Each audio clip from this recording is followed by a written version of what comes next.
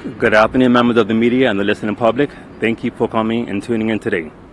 I'd like to welcome the Premier of Bermuda and esteemed guest. In a minute, in a moment, I will introduce the Minister of Public Works, Lieutenant Colonel, the Honorable David Burch, who will speak regarding an exciting partnership between government and Gorham's. Minister? Thank you. Good afternoon. Good afternoon. And welcome to St. John's Field, home of Western Stars Sports Club, more commonly known as Dandy Town. I'm delighted to be joined by a collection of folk, um, including the Premier of Bermuda, the Honourable E. David Burt, MP Michael Weeks, both members of Dandy Town, Mr. Andrew McKay of, of Gorham's, and Ms. the President of Western Stars, Mr. DeVar Boyles, the Vice President, Mr. Wayne Campbell, and the Secretary of the Club, uh, Ms. Shawnette Peyrot. Western Stars Sports Club has been a permanent part of the Pembroke West community for well over 100 years. Gorham's, too, has been a part of this community for more than 80 years. They share adjoining properties, so it makes sense for them to be good neighbors to each other. And I think it's fair to say they are. Western Stars have occupied this site since the early 1970s and have faced several challenges during that time. For many years, St. John's Field has been plagued with uneven grounds leading to frequent flooding. As a result, the club has experienced many weeks where the field has been unusable for training, community events, or recreational activities. The clubhouse, also erected in the 1970s, is in dire need of refurbishment to assist the club in catering to its ever-expanding community programs. Those include senior, junior, and pee-wee football and cricket programs for both boys and girls. I am particularly impressed with the youth football team, whose newest member is my soon-to-be 10-year-old godson, Caden. With that background, it was an easy decision for me to make when Gorham's first wrote in December 2018 to propose an arrangement that would benefit both their business and Western Stars. In order to advance the discussion, I asked the Estates Department within the ministry to coordinate meetings between the two parties to discuss how they could work more closely together.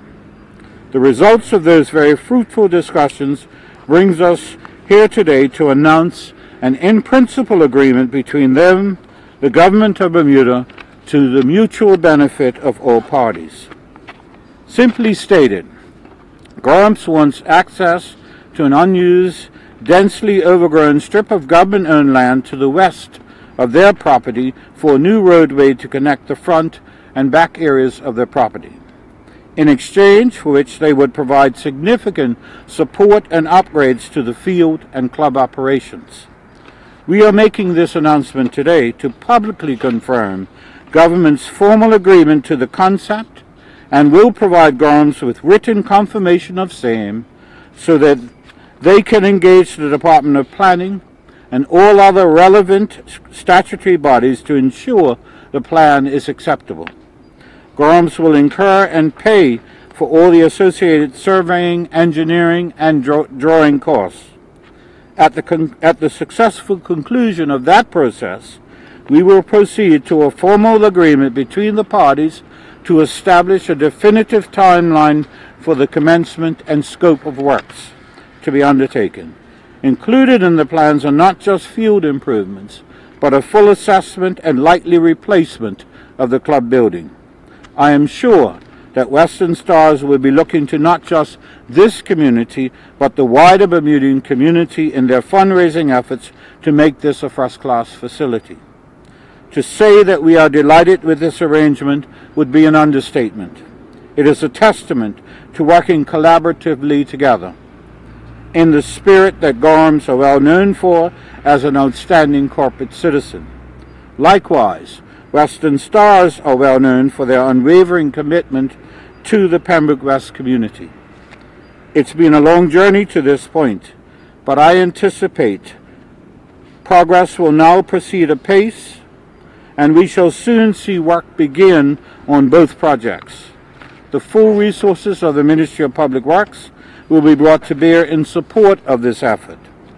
Similar to this government's commitment to work with sporting clubs by converting field rental fees to a peppercorn rent, we are equally committed to partnering with the private sector in support of them as well. I am convinced that this arrangement will reap benefits for Gorham's and the West Pembroke community and will serve as an example for others to follow.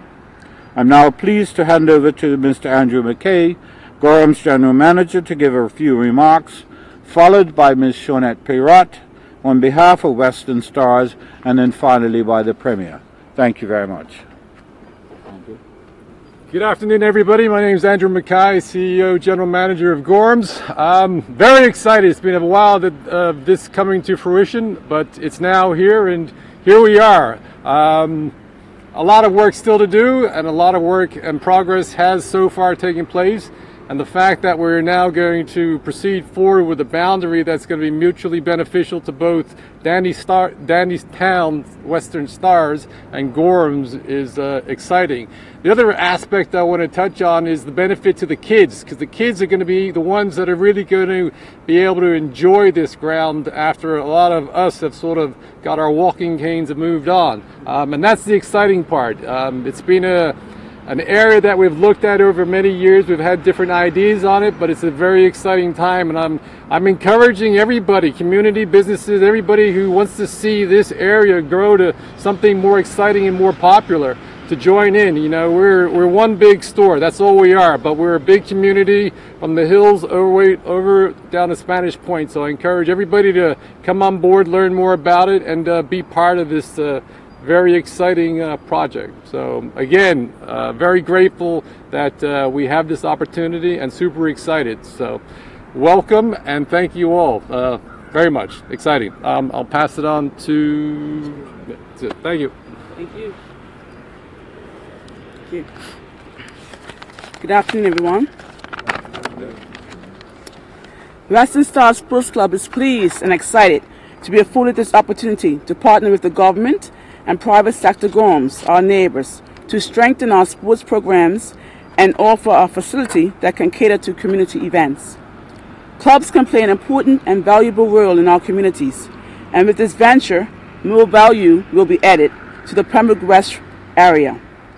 We foresee a purpose-built facility that can be used for major local and international sporting events, a model facility that can be better serve our sports teams and hopefully inspire other public and private sector partnerships.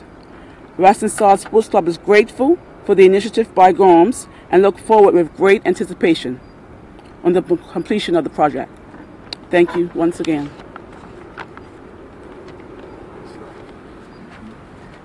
Good afternoon, members of the media. Uh, my comments will be brief.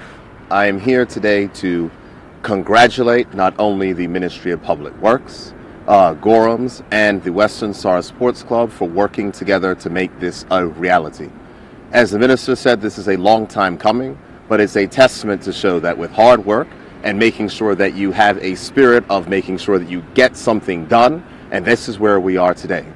In, in 2017, when the Progressive Labor Party was running for its uh, election, we said that we were going to strengthen our community clubs and it was a specific point of which we made. As the minister mentioned, MP Michael Weeks and I are members of this club, but we're also members of other clubs, and it is our job to continue to work to strengthen community clubs around this country because they play a very vital role in the social fabric that is here.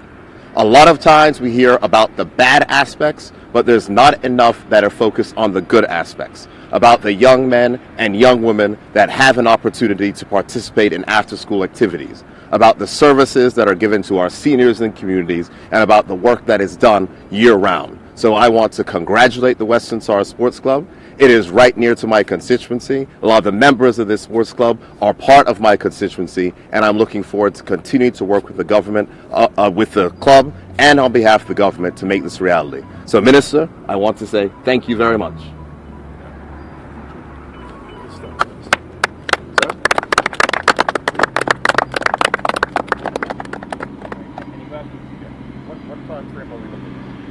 Um, as quick as possible. For the first, the first aspect of this, now that we have uh, an agreement in principle, is so that Gorham's can go and do the proper consultation with the appropriate bodies, like planning. Can we build a road? Um, once those docks are in a row, and I imagine you're going to start they're ready to go. A lot of that work has been done already. Um, once that is in place and there is an agreement from planning and the other agencies that are involved in this, we will sign an agreement and get cracking. Concurrent with that, um, I've already had some discussions with, with planning in terms of the resources of the Ministry of Public Works. Like you can't just put. I understand. I'm I'm I'm tell, I'm selling it to you as good as I got it. Okay. I understand that you can't just put sand on this field and raise it and expect for that to work. That requires some expertise. We have that expertise in the ministry, and so they'll collaborate with the, with the partners in this to make sure that we are able to provide that work going ongoing. And so there's going to be a lot of concurrent activity while we're waiting for permission, so that once we do get that, we are ready to rock and roll. for the club. Obviously, you will have to vacate the, the field. Any plans of where you're going to move to? Have you started those thoughts? Because obviously they're ready to start that part.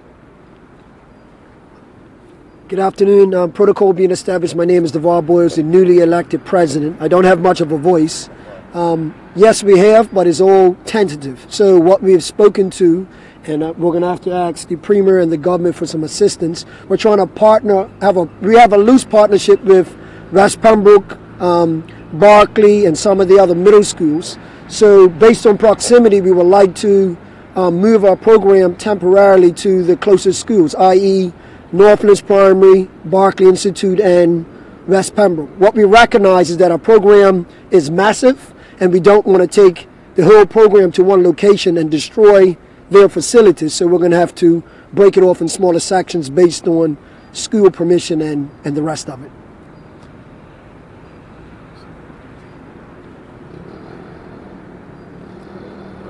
Yep. Good. That's it. Thank you. Yeah. Great. Thank you.